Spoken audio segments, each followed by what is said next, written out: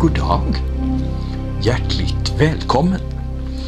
Jag har här ett exemplar av denna utmärkta skrift, Svenska Akademins ordlista. Ett väl använt exemplar som synes. Innehållande tusentals svenska ord. Och det ord jag vill visa här, det står längst ner på den där sidan här.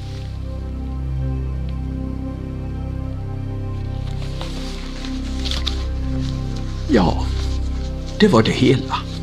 Tack så hjärtligt för uppmärksamheten.